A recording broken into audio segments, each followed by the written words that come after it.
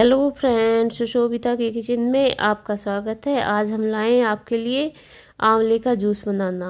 इस रेसिपी को शुरू करें, उससे पहले मैं बोलूँ कि आपको अगर मेरी रेसिपी पसंद आती है तो आप मेरे चैनल को लाइक ज़रूर कीजिए कमेंट करके बताइए कि आपको मेरी रेसिपी कैसी लगती है और सब्सक्राइब नए आए हैं तो सब्सक्राइब ज़रूर कीजिएगा। आइए चलिए शुरू करते हैं। ये देखिए 400 ग्राम हमने आम ले लिए हैं। इनको हमने पहले धुल लिया था और फिर कपड़े से पहुँच लिया था, इनको सुखा लिया है। इसमें पानी का बिल्कुल भी नाम नहीं होना चाहिए, हाथ भी सूखे होने चाहिए अब इनको हम चाकू की मदद से कट कर कर लेंगे पहले। धीरे धीरे सब आंवलों को, आंवला हमारी हेल्थ के लिए बहुत अच्छा होता है और आंवले का जूस बनाए, मुरब्बा बनाए, सूप बनाए और गटागट बनाए कैंडी बनाए, आंवले की बहुत चीज़ें बनती हैं और आंवला खाने से आँखों की रोशनी भी ठीक हो जाती है। और आंवला, बालों में लगाने से, खाने से भी और लगाने से भी बाल काले हो जाते हैं और सफ़ेद भी नहीं होते हैं। तो आंवला एक बहुत ही ऐसी चीज़ है और ये नवंबर से फरवरी तक, तीन से चार महीने ही मिल, मुश्किल से बाज़ार में मिलता है। तो इसके लिए हमें काफ़ी स्टोर करना होता गर्मियों में ये हमें नहीं मिलता है। तो हमने सारे आंवलों को देखे, सबको काट लिया था। अभी हम इसको ग्राइंडर में चम्मच से चला चला के बार बार पीस लेंगे और इसमें एक इंच हम इसमें अदरक छील लिया था। अदरक को बराबर में काट काट के डाल दिया है सबको अभी पीस लेते हैं। पानी बिल्कुल नहीं डालना है। पानी नहीं डालने से क्या होगा कि इसकी लाइफ ज़्यादा हो जाएगी, क्योंकि बाज़ार में जो जूस आते हैं, उसमें तो प्रिजर्वेटिव मिला होता है, लेकिन इसमें हम कुछ भी नहीं डालेंगे। तो इसलिए इसमें पानी का भी, हमें विशेष ध्यान रखना है। इसमें आप चाहें तो किसी कॉटन के कपड़े पर या किसी नेट के कपड़े पर भी निचोड़ सकते हैं, लेकिन हम छलनी में निचोड़ रहे हैं, क्योंकि छलनी में निचोड़ना आसान भी है और ज़्यादा अच्छी तरह निचोड़ जाता है इसमें। छलनी से। तो इसी तरह से हम दो बार में करके सारे उसको निकाल देंगे और गूदे को निकाल कर हम साइड में रख लेते हैं अभी। और जो बचा था बाकी उसको भी हम इसी तरह निकाल लेते हैं। और इसकी जो ये ट्रिक है, ये बहुत ही आसान है और आप देखेंगे तो बार बार कहेंगे कि हमें पहले क्यों नहीं पता था। इसको आप डेली चाहे आप दो चम्मच ही लें आंवले का जूस और दो भी ना ले पाए तो एक चम्मच ही लें बाकी पानी मिला लें, थोड़ा सा काला नमक मिला लें।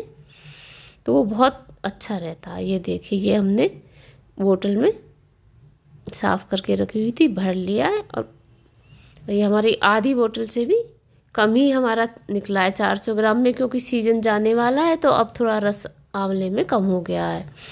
ये जो गूदा बचा था, इसको हमने दोबारा से मिक्सर में डाल लिया है। दो कटोरी हमने इसमें पानी डाला है। और हमने जो पीसा है, अब ये इसका दोबारा से अच्छी तरह पेस्ट बन गया है पानी डालने से।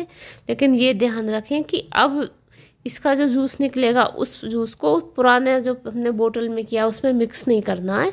इसको हम केवल चार पाँच दिन के लिए रख सकते हैं।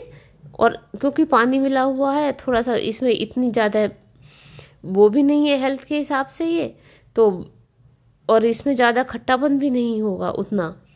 क्योंकि वो प्योर था और इसमें हमने पानी मिला के बनाया है तो इसमें हम सारे का निकाल लिया, ये देखिए, गिलास भर गया है। इसमें सादा पानी मिलाने की हमें और ज़रूरत नहीं है। हाँ तब भी आपको अगर लगता है तो आप मिला सकते हैं और इसमें हम स्वाद के हिसाब से यही चौथाई चम्मच नमक डाल रहे हैं। और ये हमारा, देखिए, जूस बनकर तैयार हो गया है। पहली बार का हमने बोतल में रख दिया है, दूसरी बार का हमने इस गिलास में बना के रख दिया अब तीसरी तरफ़ हम चलते हैं। इसका जो हमने काटा था और जो गुठलियाँ बची थी, उसको हम ग्रेट कर लेते हैं। बहुत ही आसानी से ये सब हो जाएगा। और बाद में हम, आप पूरी वीडियो आखिर तक देखिए। बाद में हम बताएँगे कि इसकी गुठली का भी हमें क्या करना है, क्योंकि वो भी बहुत ही हमारी हेल्थ के लिए बहुत अच्छी होती हैं। इसकी हर चीज़ फ़ायदेमंद होती है आंवले की। तो इसको अभी हम पहले सारे को ग्रेट कर लेते हैं और गूदा आप देख रहे हैं, साइड में निकला हुआ रखा है। गूदे को भी फेंकना नहीं है, क्योंकि इसमें केवल फाइबर ही रह गया है। तो ये भी हमारे लिए अच्छा रहता है। जब भी हम बालों में मेहंदी लगाएँ तो हम इस गूदे को सुखा लेंगे और इसके पाउडर को पीस कर रख लेंगे। और उसे हम बालों में लगा सकते हैं। तब तक हम ये देखिए, ये हमारे सारे जो बचा था, वो हमने पीस लिया है। अब मैं आपको एक ये बताती हूँ कि जैसे ये दो आंवले हमने लिए, इतना ही ये गुदा हुआ है जितना दो आंवले का होता है। तो वो जो हॉस्टल में रहने वाले बच्चे हैं, जिनको हॉस्टल में रहना होता है, डाइट भी प्रॉपर नहीं मिल पाती है, प्रोटीन की, कैल्शियम की, सब चीज़ों की कमी रहती है तो उनके लिए कि वो डेली दो आंवलों को एक बार आंवले मंगा लें और दो आंवलों को इसी तरह से ग्रेट करके और इस तरह से जूस बना लें और गिलास एक कप पानी डालकर इसमें। और साथ में अभी मैं दिखाती हूँ आपको, एक ये देखिए, एक चम्मच हमने डाला है इसमें शहद और ये चौथाई चम्मच डाल रहे हैं हम नमक। और इसको बनाकर डेली पिए तो बच्चों की हेल्थ के लिए बहुत ही अच्छा रहेगा। और इसमें कोई भी ऐसी चीज़ नहीं है कि जिसके लिए वहाँ पे सुविधा ना होती हो। अभी हमारा गूदा बचा तो इसको हम चाहे तो किसी कपड़े पर सुखा सकते हैं, लेकिन कपड़े पर निशान आ जाते हैं तो हम किसी प्लेट में करके इस तरह से इसको सुखा लेते हैं। और जब ये सूख जाएगा तो इसको एक बार मिक्सी में पीस कर पाउडर की तरह बना कर रख लेंगे। जब भी मेहंदी लगाएँगे तो ये पाउडर हमारा बहुत ही काम आएगा।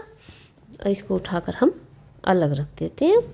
अब आया ये गुठली गुठली को हम पीस कर दिखाते हैं कि इसके अंदर इसके अंदर भी बीज होता है वो बीज हमारी हेल्थ के लिए बहुत अच्छा होता है। इस बीज को भी हमें खाना चाहिए। इसमें से देखिए, चार बीज हमारे, ये दिखाते हैं अभी आपको, चार बीज हमारे निकले हैं। ये देखिए, इसी तरह से इन बीजों को भी खाना चाहिए और ये हमारा सारा जूस तैयार हो गया। ये देखिए, थोड़ा सा वीडियो में तिरछी आ गई है। हमारा कैमरा सही नहीं चल रहा था, इसके लिए माफ़ी चाहते अच्छा आप चलते। एक नई रेसिपी के साथ फिर आएँगे, तब तक हम बताते हैं। दो तरह का जूस है। एक में शहद पड़ा हुआ है, एक बिना शहद का। ठीक है। Okay thank you